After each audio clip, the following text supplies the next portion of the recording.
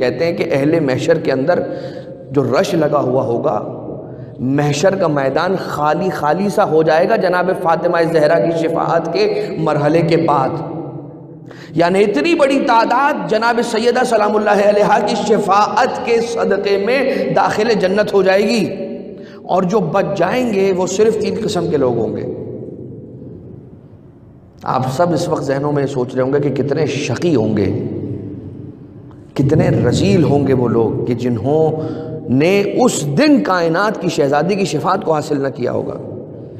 एक काफिर, यानी कि मुशरक, एक मुनाफिक और एक शाक, शक करने वाला।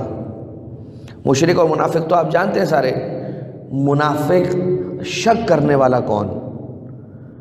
जिस तरह से गीबत एक बीमारी, जिस तरह से झूठ एक बीमारी, जिस तरह से खुदा से नाउमीदी एक बीमारी, उसी तरह से शक एक ऐसी रूहानी बीमारी है। अशक को या कुल ईमान कमा ताकुल नारो अलहतब शक ईमान को ऐसे खा जाता है कि जैसे आग लकड़ी को खा जाती है। शक के माना क्या हुए? शक करना बार बार शक करना कि क्या ऐसा हुआ होगा कि अली ने सूरज को पलटा दिया होगा? मैं, मेरे अकल में नहीं आती बात।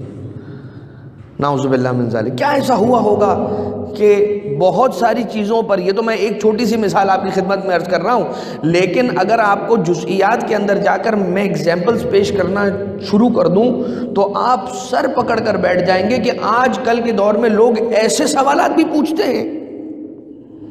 ऐसे सवाल भी होने लगे हैं क्या इस दौर के अंदर?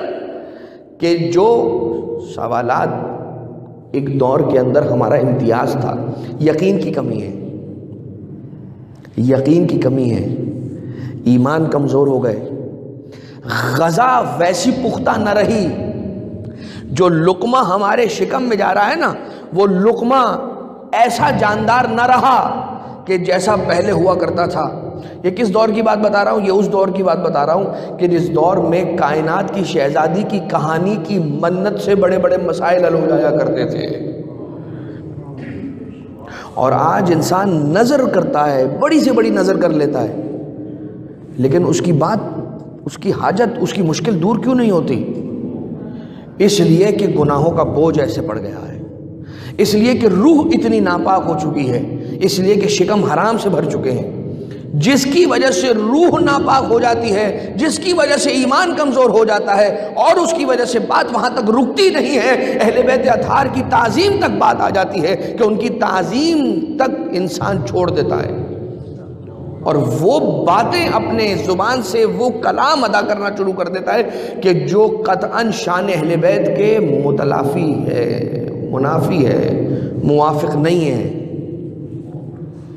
लिहाजा इस बात को बहुत हमारे जवान और हमारे दोस्त इस बात को बहुत महसूस करें और इसके लिए काम करें।